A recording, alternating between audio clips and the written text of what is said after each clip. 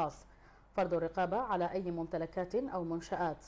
الحجز على الأموال والمحال والسلع والأشياء التي يشتبه بأنها موضوع مخالفة للقانون وذلك حتى يتم التحري أو المحاكمة.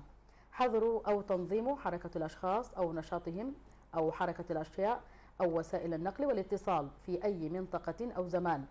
اعتقال الأشخاص الذين يشتبه في اشتراكهم في جريمة تتصل بالطوارئ. أي سلطات أخرى يراها رئيس الجمهورية ضرورية. كما أعطى الأمر النائب العام سلطة التقرير بشأن رفع الحصانة عن أي شخص متهم بارتكاب جريمة يعاقب عليها بموجب قانون الطوارئ وحماية السلامة العامة لسنة 97 و900 وألف أو اللوائح أو الأوامر الصادرة بموجبه. جرت بالقصد